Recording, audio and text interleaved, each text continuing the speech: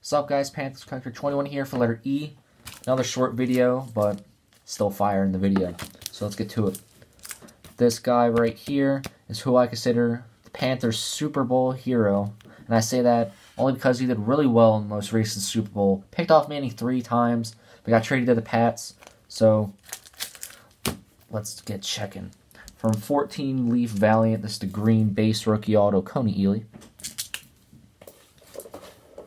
Next up is from Prism. This is the gold Prism out of 10, rookie auto.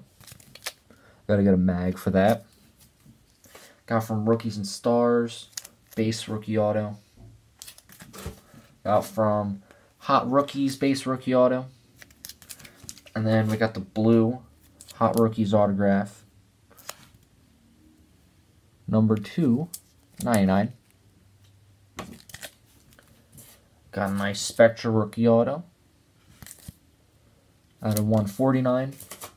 Got the base Topps Chrome rookie autograph. Base Turkey Red rookie autograph. And then some non-rookie stuff. Two non-rookie autos. We got Amir signatures out of 99 from 16 certified. And from last year's Elite Football autograph out of 199 Just recently got this from a trade with Bumblebee Cards on Instagram. If you guys don't follow him, follow him. That was his first deal, and he's very legit. And last but not least, from 14 Crown Royale, this is the yellow printing plate of Kony Ealy. Sick. Love 101s. Next up is from a guy from the Panthers 2010 draft class. Almost said 13. We got from Absolute. This is the Spectrum Triple Patch out of 50 of Armani Edwards.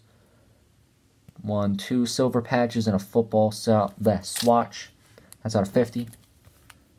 Got a Bowman Sterling base relic. Then the rest are all autos and patch autos. We got a Contenders rookie ticket autograph almost keep dropping these things today. I don't know what it is. Got a platinum refractor autograph at a 900. So you can see the numbering. Nah, it just makes it too dark. Okay. From 5 star out of a 100 on card rookie auto.